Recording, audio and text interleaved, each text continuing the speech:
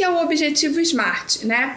Então, é um objetivo funcional, né? Pensando no modelo da CIF, que é uma classificação internacional de funcionalidade.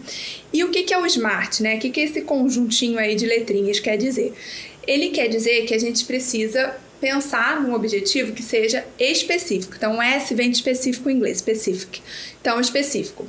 Como assim? Então, eu quero que essa criança faça essa atividade. Você tem que descrever exatamente a atividade que você quer que essa criança aprenda, tá? Precisa ser mensurável. Então, eu preciso ser capaz de dizer que meu paciente saiu daqui e chegou aqui.